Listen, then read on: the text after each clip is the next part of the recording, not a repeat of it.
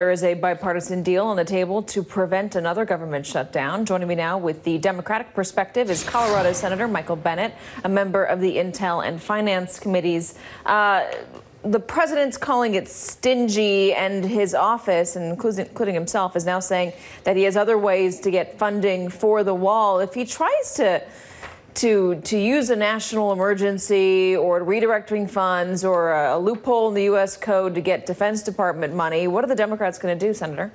Well, I don't, I don't think it'll just be Democrats. I think it'll be Democrats and Republicans who, who believe that Congress has the power of the purse and the president can't just reprogram money willy nilly, however he wants to do it.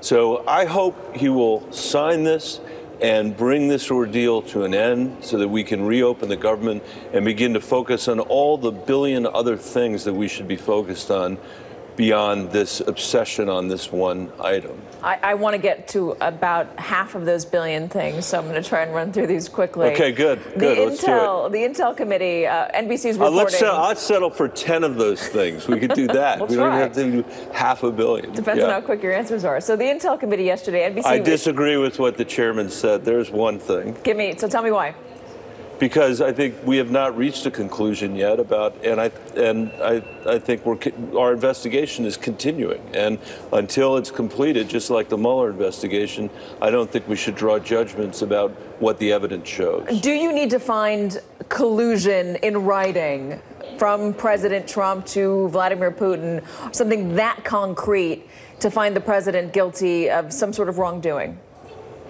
No, I think that, that, first of all, it's not a standard, it's not really a legal standard to begin with. There are all kinds of things that are going to be considered as, as part of this investigation and, and of the interviews.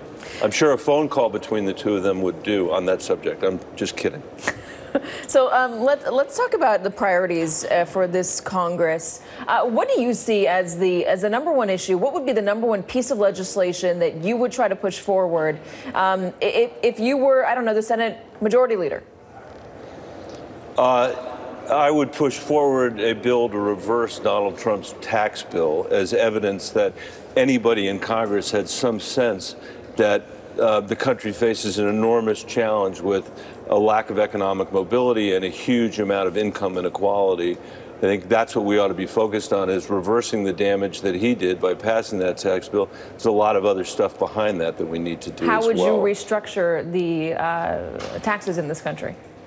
Uh, I would dramatically increase the tax cut for poor people and for middle class people, and I would raise taxes on the wealthiest people. Would you get behind country. an I don't know uh, an Alexandria Ocasio Cortez plan that uh, taxes 70 percent of those who earn more than 10 million, or is it look something more like Elizabeth Warren's wealth tax or Bernie Sanders raising the estate tax? Any one of those?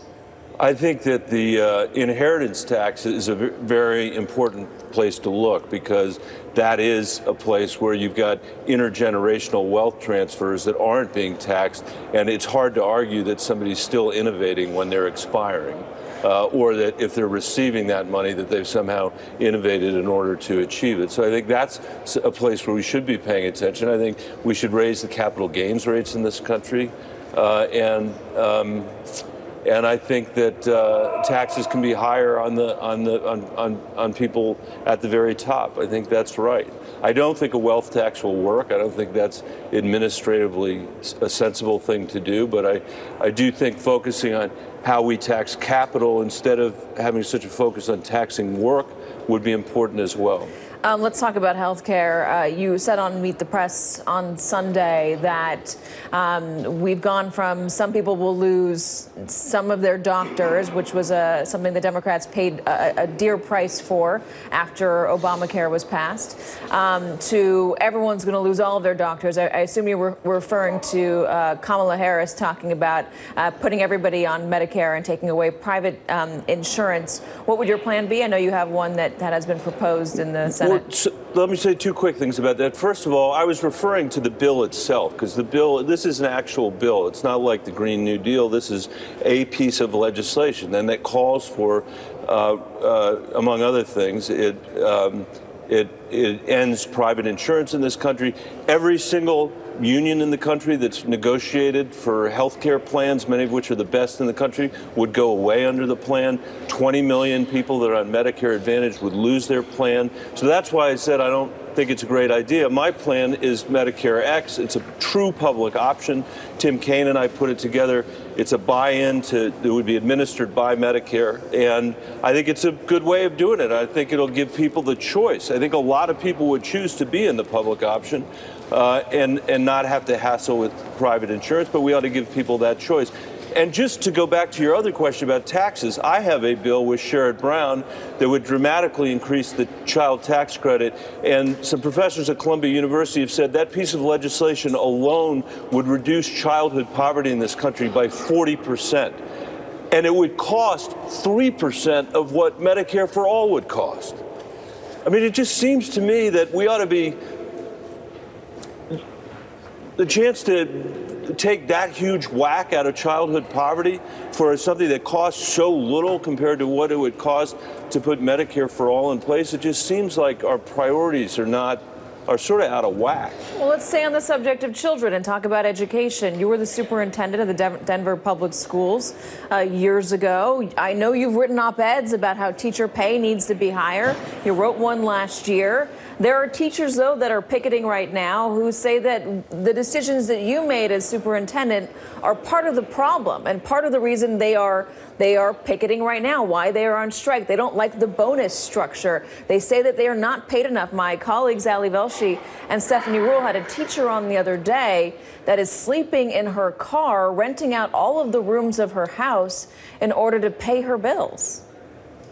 Uh, teachers in Denver and all over this country are not paid enough. And believe me, you don't need to tell me that they're picketing. I've got two kids in the Denver public schools who are at home right now because of the strike. So I hope the two parties come together uh, quickly to resolve it. They, no, nobody on either side of the bargain table needs to hear from me. They know uh, me well enough to, to know that I'm not going to get involved in their business.